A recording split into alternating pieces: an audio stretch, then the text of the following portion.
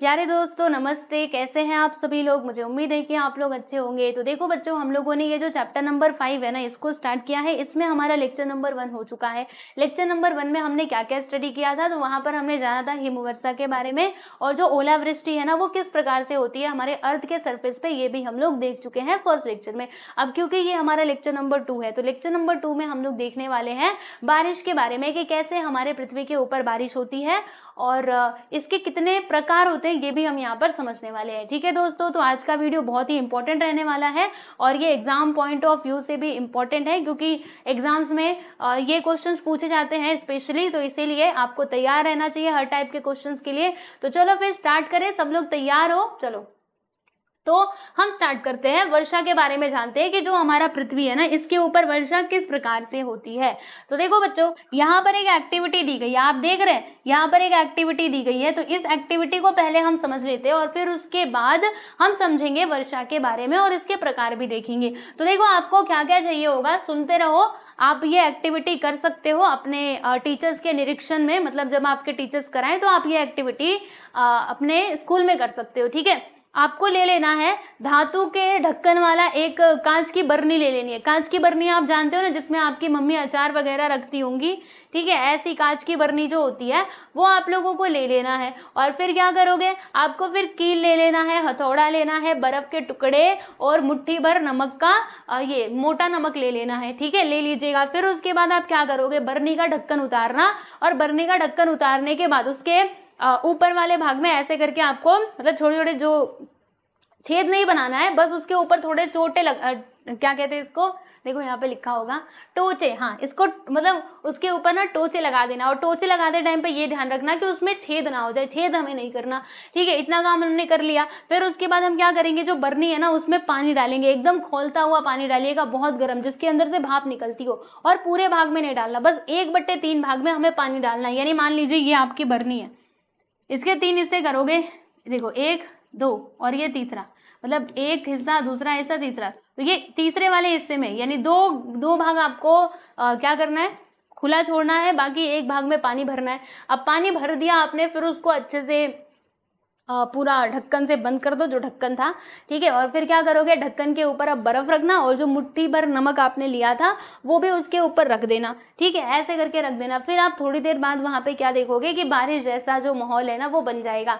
कहाँ पर बनेगा? वो बॉटल के अंदर बनेगा, बाहर नहीं बनेगा। आप सोचो कि बाहर बारिश होने लगेगी ऐसा नहीं होगा, ठीक है? बॉटल के अंदर। अब ये ऐसा जानते हो क्यों हुआ? देखो, मैं आपको पूरा इसके पीछे का कारण बताती हूँ। जानते हैं दोस्तों कैसे हुआ? देखिए अब बरने का जो पानी है, वो था गर्म, ठीक है? गर्म गर्म था तो उसमें से भाप निकल रही थी तो भाप हमेशा, क्योंकि भाप हमेशा ऊपर की तरफ़ जाने की कोशिश करता है ना, वो ऊपर की तरफ़ जाने की कोशिश कर रहा था, अब क्योंकि हमने ढक्कन लगाया था कस के तो वो बाहर तो जा नहीं पाया तो जो ढक्कन था ना, उसी में जा करके वो पानी की बूंदे बन गया। पानी की बूंदों कैसे बना?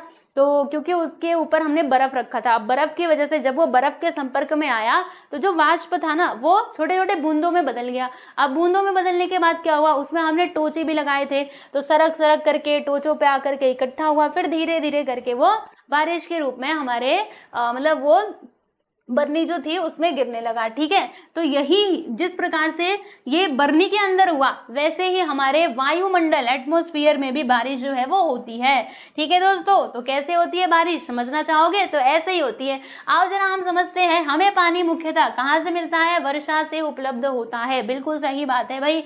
वाष्पयुक्त हवा, देखो, अब अब यहाँ पे एटमोस्फियर में कैसे क्या होता है सुनिएगा। जो वाष्पयुक्त हवा है ना, वो ऊपर जाने की कोशिश करती है, जैसे वो बर्नी में जा रही थी। ये हमारी हवा है, वो ऊपर जाने की कोशिश कर रही है। और फिर क्या होगा, जो हवा में स्थित वो वाष्प का सघनी भवन होता है, यानी ऊपर जाने के बाद क्या होता है, इसका सघनी भवन, यानी कि पहले ये वाष्प था ना, अब ये बारिश की बूंदे बन जाता है, ठीक है? मतलब पानी की बूंदे। और फिर उसके बाद ये जो जलकर तैयार हुए हैं क्या होता है कि हवा में से धूली कण इकट्ठे आकर बादल तैयार करते हैं, यानी ये जल कण ये पानी की बूंदे, और जो हमारे एटमॉस्फेयर में घूम रहे हैं धूल के कण, क्योंकि धूल के कण इधर से उधर घूमते ही रहते हैं तो ये दोनों जब एक साथ मिलते हैं तो मिल करके बादल तैयार करते हैं, है ना? और बादलों में स्थित जो जल कण है, आकार में मोटे होने लगते हैं धीरे धीरे करके ये मोटे होने लगते हैं, और जब ये मोटे हो जाने, हो जाते हैं ना प्यारे बच्चों तो फिर ये तैरना इनका संभव नहीं हो पाता, जब तक ये हल्के रहते तब तो ठीक है, बिंदास एकदम मौज मस्ती में तैर रहे तैर रहे लेकिन जब ये हो जाते हैं हल्के तो फिर बादल इनको रोक नहीं पाता, ये ऊपर नहीं रुक पाते। और फिर क्या होता है कि जल कड़ों की वर्षा के रूप में वृष्टि होती है। समझ में आया? मतलब वो जो पानी की बूंदे थी, अब वो आ जाएँगी नीचे। एंड एंड इसी को हम क्या कहते हैं दोस्तों? इसी को हम कहते हैं वर्षा, यानी कि वृष्टि। ठीक है? अब ये जो वृष्टि है ना, ये मुख्यतः तीन प्रकार की होती है। आरोही जिसको हम अभिशरण वर्षा भी कहते हैं, फिर उसके बाद प्रतिरोधी होती है और लास्ट में आ जाएगा साइक्लोनिक यानी कि चक्रवातीय वर्षा, ठीक है? तो हर एक वर्षा आपके समझ में आएँगे, बिल्कुल भी टेंशन मत लेना। आओ मैं आपको तीनों वर्षा के बारे में खूब अच्छे से बता देती हूँ, ताकि आपको हमेशा याद रहे, ठीक है? देखो डायग्राम के माध्यम से भी हम समझेंगे और उधर जो एक्सप्लेनेशन दिया है, उसके माध्यम से भी समझेंगे। पहले हम एक बार एक्सप्लेनेशन देखते हैं, फिर उसके बाद आपको डायग्राम बताऊँगी, ठीक है? चलिए। विश्वत वृत्तीय प्रदेशों में सूर्य की उष्मा के कारण भूपटल का तापमान बढ़ता है और समीप वाली हवा गर्म होती है। विश्वत वृत्तीय प्रदेश क्या होते हैं, प्यारे बच्चों? जैसे ये हमारे पृथ्वी है तो पृथ्वी में ये जो इक्वेटर होता है ना, यानी ये जो विश्वत रेखा होती है, इसके आसपास के प्रदेशों की बात की जा रही है। इसमें क्या होता है, सूर्य की उष्मा मतलब यहाँ पे जो सूरज की उष्मा है, वो परपेंडिकुलर, पूरी लंबवत पड़ती है ना, इसीलिए यहाँ पे ज़्यादा गर्मी होती है। तो क्या बोला गया है कि यहाँ पर जब सूर्य की उष्मा आती है तो भूपटल का तापमान बढ़ता है और इसके आसपास वाली जो हवा है ना, वो गर्म हो जाती है। अब हवा गर्म होने के बाद क्या होगा? वो प्रसरण करेगी और वो ऊपर जाने की कोशिश करेगी।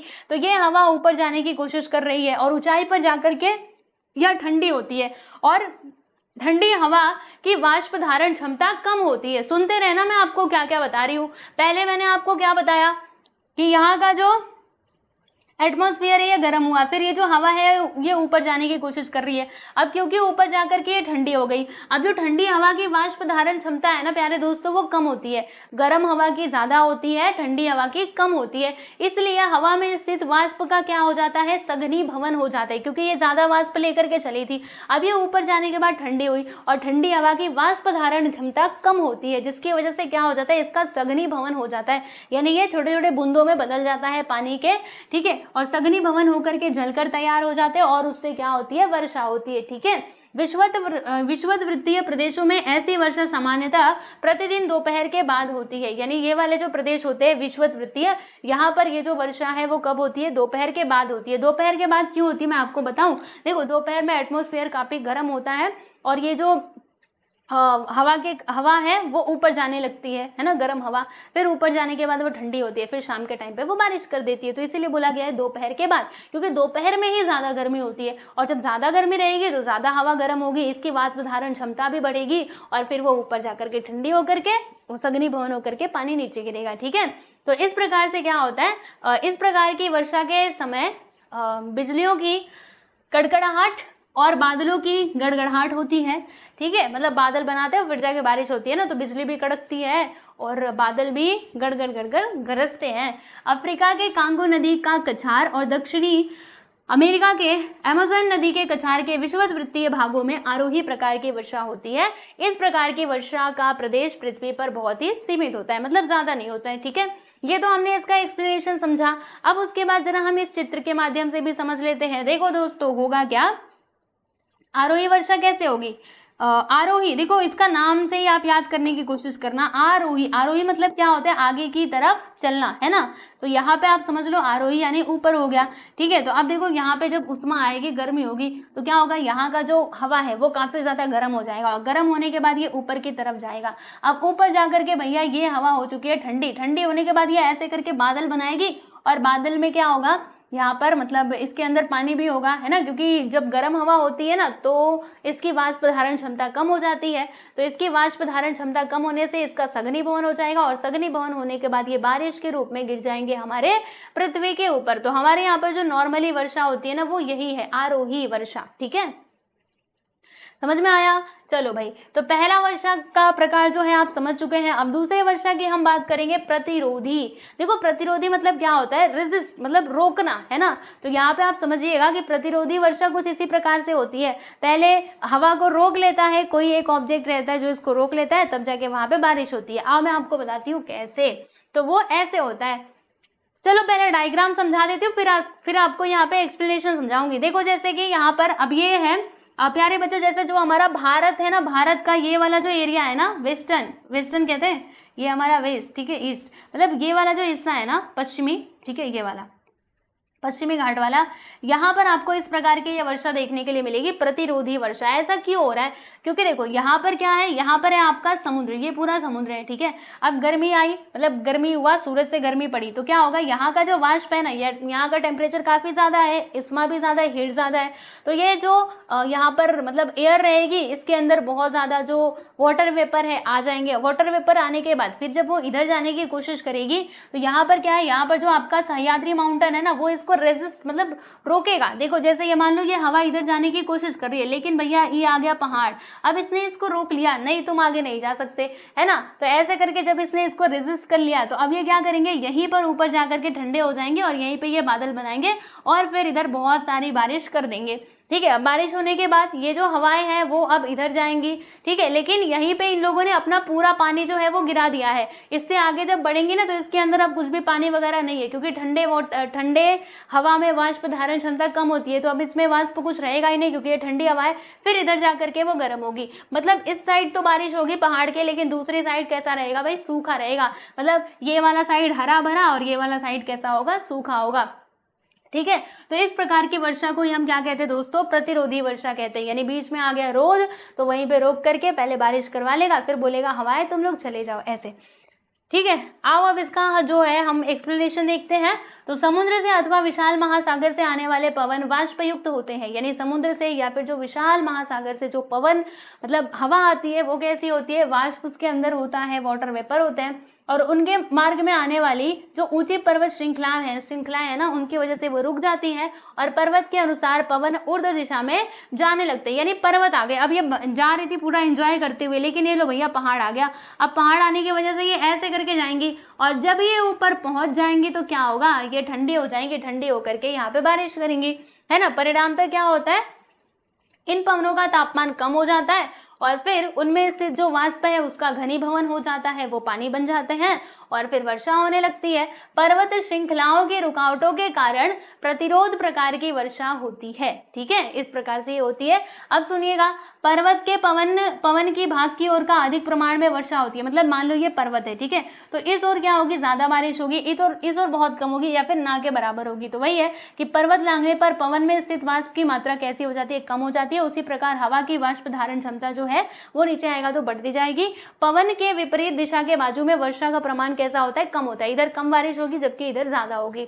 ठीक है इधर काफ़ी ज़्यादा होगी। उस कारण यह प्रदेश वृष्टि छाया का प्रदेश के नाम से जाना जाता है। यानी कि ये वाला जो प्रदेश रहेगा ना इसको हम क्या कहेंगे प्यारे बच्चों? वृष्टि छाया का प्रदेश आ, कहेंगे। ठीक है एक मिनट रुकना है। वृष्टि वृष्टि छाया का प्रदेश किसको कहेंगे? आप इसमें देख लो। देखो। ये है वृष्टि छाया का प्रदेश है ना? क्योंकि यहाँ पे ज़्यादा बारिश नहीं हो रही थी। और इधर अधिक वर्षा का प्रदेश वृष्टि छाया का प्रदेश फिर उधर पूर्व की ओर निचला प्रदेश, वर्षा में वृद्धि, ऐसे करके देखो ये जा रहा है। यहाँ पे वाष्पीभवन हुआ, ये पवने ऐसे करके चली, फिर ये रोध आ गया, फिर ये ऊपर गई, ठंडी हुई। ठंडी होने के बाद यहाँ पे बारिश करवा दिया, इधर ज़्यादा बारिश करवाया, इधर कम बारिश करवाया धीरे धीरे जाते जाते ये पूरा सूख गया, है ना? अब फिर ऊपर जाएगा और फिर जाके वो बारिश करेगा, ठीक है? पूरा यहाँ पे लिखा तो है कि ऊँचा, ऊंचाई में न्यूनता वाष्प धारण क्षमता में वृद्धि। जब ऊंचाई कम होगी तो वाष्प धारण क्षमता बढ़ेगी, जब ऊपर पहुँच जाएगा तो वाष्प धारण क्षमता एक मिनट ऊंचाई में वृद्धि वाष्प धारण क्षमता में वृद्धि। ऊंचाई में न्यूनता वाष्प धारण क्षमता में वृद्धि। यहाँ पे कमी हो जाएगी ना वृद्धि गलत दिया है। ठीक है? फिर कम वाष्प युक्त बादल और उसके बाद कम तापमान कम वाष्प धारण क्षमता। फिर वो ऊपर जाएगा तो उसमें कम आ, कम तापमान होगा तो कम वाष्प धारण क्षमता होगी। तो ये इस प्रकार से होता है। ठीक है दोस्तों समझ आया? तो उसके जो बाजू वाला है उसको हम वृष्टि छाया का प्रदेश कह सकते हैं। ठीक है? फिर ये भी देख लो, भारतीय उपमहाद्वीप का विचार करते हुए मौसमी वर्षा का परिणाम अधिक होता है। हमने इस संबंध की जानकारी पिछली कक्षा में प्राप्त की है, इसको छोड़ो। और अब हम आ जाते हैं हमारे तीसरे टाइप की वर्षा पे, जो क्या है प्यारे बच्चों? चक्रवातीय वर्षा। अब ये चक्रवातीय वर्षा क्या है? ये कैसे होती है? इसको जरा बताना। तो इसको आप डायग्राम की मदद से देख करके समझ सकते हैं। देखो दोस्तों, होता क्या है? अब क्योंकि चक्रवात जो है, चक्रवात कैसे आते हैं? तो वही पवनों के कारण। जब पवन ऐसे मतलब वहाँ पे हमारे वातावरण में कुछ स्पेसिफिक कंडीशंस होती है सिचुएशंस बनती हैं तो जो हवा है ना, वो ऐसे गोल गोल करके चक्राकार घूमने लगता है, ठीक है? हवा घूम रही है, बराबर? तो क्या होगा? अब क्योंकि हवा घूम रही है ना अब हवे में क्या है भाई? वाष्प भी है है ना? तो जब ये ऊपर जाएगा, ऊपर जाने के बाद ऐसे ये दोनों तरफ़ फैल जाते हैं, फिर यहाँ पर ये बादल बनेंगे, क्योंकि ऊपर जाने के बाद ये ठंडी होगी। बादल बनेंगे और फिर यहाँ से ऐसे ऐसे करके वर्षा हो जाएगी, क्योंकि बादल बनेंगे तो इसके अंदर जो वाटर वेपर है है ना, वो भी फॉर्म होंगे, और इस प्रकार से साइड साइड में क्या हो जाएगी? बारिश जो है, ये होती जाएगी। तो जैसे जैसे ये चक्रवात आगे बढ़ता रहेगा, वैसे वैसे जो वर्षा का क्षेत्र है ना, वो भी आपको देखने के लिए मिलेगा। तो ये होती है चक्रवातीय वर्षा, ठीक है? आइए देखते हैं तो चक्रवात का तात्पर्य क्या है कि किसी स्थान पर हवा का दबाव आसपास के प्रदेश की अपेक्षा कम होकर उसमें हवा की विशिष्ट रचना हो जाती है। देखो कि किसी स्थान पर क्या होता है कि हवा हवा का जो दबाव है, वो आसपास के प्रदेश की अपेक्षा उससे कंपेयर करोगे तो ये काफ़ी कम हो जाता है। और उससे क्या होता है, हवा की विशिष्ट रचना होती है, ऐसे रचना हो जाती है हवा की, ये हवा तो ही तो है। और ऐसे करके जो चक्रवात है, वो बन जाते हैं, है ना? तो इस रचना को हम चक्रवात कहते हैं। चक्रवात केंद्र की ओर आसपास के प्रदेश से हवा चक्रकार पद्धति से आने लगती है और केंद्र भाग में स्थित हवा ऊंचाई पर जाने लगती है, ठीक है? बाजू बाजू से तो हवा आ रही है। अब जो केंद्र में है, वो हवा ऊपर की तरफ़ जाती है। ये ऊंचाई पर जाने से उसका तापमान कम होकर हवा में स्थित वाष्प का क्या हो जाता है? सघनी भवन हो जाता है और उस प्रकार से वर्षा होती है। चक्रवात जिन प्रदेशों से होकर जाते हैं, वहाँ वर्षा होती रहती है। चक्रवात वर्षा समशीतोष्ण शीतोष्ण कटिबंध में अधिक मात्रा में होता है। यानी जो हमारे टेम्परेट रीजन है, वहाँ पे ये ज़्यादा देखने के लिए मिलता है। उसका क्षेत्र भी विस्तृत होता है। उसकी अपेक्षा उष्ण कटिबंध में होने वाला ये जो चक्रवात वर्षा है, जो उष्ण कटिबंध है बंद है, यानी ट्रॉपिकल वाली रीजन ठीक है, वहाँ पे सीमित क्षेत्र में होती है। यह कैसी होती है? तूफानी वर्षा होती है। ठीक है, प्यारे दोस्तों मतलब ये तूफानी होती है। ओके, जब ये चक्रवातीय वर्षा आएगी ना, समझिएगा मतलब बहुत भयंकर, ठीक है, क्योंकि ये ये हवा भी है तोड़ फोड़ भी मचाएगा और बारिश तो करेगा ही, ठीक है? हम्म। चलिए, यहाँ तक आपको समझ में आया, अब जरा ये भी हम एक बार देख लेते हैं, देखिए। प्रतिरोधी प्रकार की वर्षा संसार के अधिक क्षेत्रों में होती है। सुनिएगा कौन कौन सी वर्षा कहाँ कहाँ पे होती है? तो सबसे ज़्यादा अगर देखा जाए तो वर्ल्ड में प्रतिरोधी प्रकार की वर्षा होती है, दूसरी टाइप और आरोही वर्षा यह प्रादेशिक स्वरूप की होती है, यानी एक रीजन में पर्टिकुलरली होती है और विश्वत रेखीय प्रदेश में होने वाली आरोही वर्षा में अधिक निश्चितता होती है, ठीक है? मतलब निश्चित है और निश्चितता यानी क्या होता है? सर्टेनिटी एंड उसकी तुलना में जो प्रतिरोधी और चक्रवातीय वर्षा है, उसमें निश्चितता यानी अनसर्टेनिटी होती है। इसलिए इस प्रकार की वर्षा के क्षेत्रों को अतिवृष्टि, बाढ़ तो कभी अकाल जैसी आपदाओं का सामना करना पड़ सकता है, क्योंकि वो अनिश्चित है ना, निश्चितता कम है। तो इसकी वजह से यहाँ पे बाढ़ या फिर मतलब बहुत ज़्यादा काफ़ी बारिश आ जाती है तो अकाल जैसी समस्याओं का सामना करना पड़ सकता है। ठीक है दोस्तों, समझ में आ गया आप सभी लोगों को? तो ये था हमारा types of rain I think समझ आ गया होगा। ये देखो यहाँ पे संसार में वर्षा का वितरण बताया गया है तो आप इस मैप को देख करके समझ सकते हो कि किस प्रकार से वर्षा का वितरण हमें हमारे पूरे वर्ल्ड में देखने के लिए मिलता है विश्व में। ठीक है? जैसे इसमें से आप देख करके समझ सकते हैं। जहाँ पर भी आपको ऐसा कलर दिखाई देगा, वहाँ पे आप समझिएगा कि 500 से 1000 मिलीमीटर तक की वर्षा हो रही है और 500 से कम वाले का ऐसा होगा और पाँच, एक से ज़्यादा वाले को ऐसा ऐसा कलर होगा, ठीक है? एक बात बताऊँ, ये जो वर्षा है ना प्यारे बच्चों, उसको मिलीमीटर में नापा जाता है। किसमें मापते हैं हम लोग? मिलीमीटर में मापते हैं। और वो कैसे मापते हैं, उसके लिए एक उपकरण होता है। ये उपकरण के बारे में अभी हम पढ़ने वाले हैं, जिसको हम क्या कहते हैं? वर्षा मापक कहते हैं। देख रहे हो? ये है वर्षा मापक, जिसकी मदद से वर्षा को मापा जाता है। तो ये तो हम बाद में देखेंगे। जरा इसको समझ लेते हैं कि कहाँ कहाँ पे किस प्रकार से वर्षा होती है। तो जहाँ पर वर्षा एक हज़ार से अधिक है, देखिएगा, ये आपके हो जाएँगे ट्रॉपिकल रीजन मतलब विश्वत वित्तीय प्रदेश होंगे। विश्वत रेखा के पास वाले, देख रहे हो? विश्वत रेखा के आसपास वाले जो प्रदेश हैं मतलब जो रीजन है, वहाँ पर हमें इस प्रकार से 500 मिलीमीटर mm से भी अधिक 1000 से भी अधिक वर्षा देखने को मिल रही है। क्योंकि यहाँ पर काफ़ी ज़्यादा तापमान है। अब तापमान ज़्यादा होने की वजह से यहाँ पर जो समुद्र है, वो गर्म होंगे। गर्म होने की वजह से पानी ऊपर जाएगा, ऊपर जाकर के ठंडा होगा और फिर बारिश करेगा। ठीक है तो ये इसका कारण हो सकता है। फिर ऐसा वाला आपको कहाँ पे दिखेगा? ऐसा कलर तो थोड़ा सा समशीतोष्ण वाले में जाएँगे ना तो वहाँ पर देखो। ठीक है? फिर उसके बाद ये कलर तो आपको ऐसे, जो हमारे पोल्स हैं नॉर्थ पोल और साउथ पोल वहीं पर दिखाई देगा, क्योंकि ये ठंडा प्रदेश है। यहाँ पे बारिश का जो मात्रा है वो काफ़ी कम हो जाता है। अब चलो यहाँ पे हम लोग वर्षा मापक की बात करते हैं। ठीक है, वर्षा मापक देखेंगे, फिर उसके बाद ये वाला जो टॉपिक है ना, इसको हम नेक्स्ट वीडियो में कवर करेंगे। तो ये होता है प्यारे बच्चों, वर्षा मापक, ठीक है? इसमें क्या क्या लगा हुआ होता है? जैसे इसमें ना एक कुप्पिल मैं आपको ऐसे एक्सप्लेन कर देती हूँ। ठीक है डायग्राम याद कर लेना। देखो इसमें ना एक कुप्पी लगी हुई होती है तो फिर जब बारिश होती है ना तो इसके थ्रू पानी जो है, ये एक बॉटल में इकट्ठा होता है, ये बोतल है, इसमें इकट्ठा होगा। फिर उसके बाद जब इसमें इकट्ठा हो जाएगा पानी तो इसको हम लेकर के आएँगे, इसमें आकर के डालेंगे, फिर देखेंगे कि जो पानी है, वो कितना मिलीमीटर है, वो पैंतालीस है, बीस है, या फिर पच्चीस है, कितना है, वो हम यहाँ पर यहाँ पे चेक कर सकते हैं ठीक है? और एक चबूतरे पे इसको रखोगे तो वो ज़्यादा अच्छे से मतलब आपको सही एक्यूरेट डेटा दे पाएगा, क्योंकि आपने इसको मतलब ऐसी जगह रखना चाहिए ना जहाँ पे कहीं पे क्या हो, अवरोध ना हो। अब सोचो ना कि ऊपर क्या है, ऊपर छत है और आपने वहाँ पे रखा है इसको। ठीक है? तो क्या होगा? छत से वो पानी आ रहा है, वो डायरेक्ट आसमान से नहीं आ रहा तो आपको खुले में रखना है ताकि आसमान से पानी डायरेक्ट इसमें आए। तभी आप उसको अच्छे से मेजर कर सकते हो और सही सही जो माप है वो आप बता सकते हो, ठीक है ना? इसलिए उसको खुले में रखना है। इसलिए क्या बोला गया कि चबूतरे पे रखोगे तो ज़्यादा बेटर है, या फिर आप खुले में कहीं पर रख दो तो भी ठीक है। ठीक? तो यहाँ पर उसी कुप्पी के बारे में बताया गया है मतलब वर्षा मापक के बारे में कि इसमें क्या क्या होता है, आप देख सकते हो, ठीक? ये देखो, वर्षा मापन के लिए वर्षा मापक खुले ज़मीन पर 30 सेंटीमीटर का समतल चबूतरा बांधकर उस पर रखा जाता है। अब यहाँ पे ये क्या आप जानते हैं, ये मैं आपको बता दूँ, फिर उसके बाद आगे चलेंगे। एक मिलीमीटर वर्षा अर्थात कितना पानी? तो एक मिलीमीटर वर्षा मतलब भूमि पर होने वाली एक मिलीमीटर वर्षा के पानी की परत को न बहने देते हुए, न ज़मीन में सोखने देते हुए, न उसका वाष्पीभवन होने देते इकट्ठा किया जाए तो कितना पानी इकट्ठा होगा? इसे निम्न उदाहरण से आप समझ सकते हो। जैसे कि एक वर्ग किलोमीटर में, जो आपका एक वर्ग किलोमीटर है, किलोमीटर मतलब ज़्यादा होता है ना, एक वर्ग किलोमीटर, ठीक है ऐसे? ओ कहाँ जा रहे हो? आओ, एक वर्ग किलोमीटर, ठीक है? मान लो ये एक वर्ग किलोमीटर है तो वहाँ पर क्या होगा? जब एक मिलीमीटर मान लीजिए वर्षा हुई ना तो दस लाख लीटर पानी जो है वो उपलब्ध होता है, ठीक है? कितना? दस लाख लीटर। यानी अगर हम पानी को मान लो कहीं पे, वैसे तो पानी गिरता है तो कहीं ना कहीं बह जाता है, ज़मीन में सूख जाता है, लेकिन मान लीजिए अगर हमने उसको ज़मीन में नहीं सूखने दिया, ठीक है? वो सीधा सीधा ज़मीन के ऊपर आ रहा है, गिर रहा है तो एक वर्ग किलोमीटर में कितना पानी हो जाएगा? दस लाख लीटर पानी हो जाएगा, समझे? तो एक मिलीमीटर वर्षा अर्थात इतना कितना होता है? बात समझ में आई आप सभी लोगों को? ठीक है? चलिए। और फिर आपको एक और बात बता देती हूँ, हिमवृष्टि का मापन कैसे करते हैं? जैसे हम लोग वर्षा को माप रहे हैं, वैसे ही जो हिमपात होता है मतलब ये जो बारह बर्फ़ की बारिश होती है, उसको कैसे माप सकते हैं? तो वर्षा मापक के जैसे ही इसको भी हम लोग माप सकते हैं, जैसे वर्षा को माप रहे थे, उसके सहायता सहायता से इसको भी मेजर किया जा सकता है।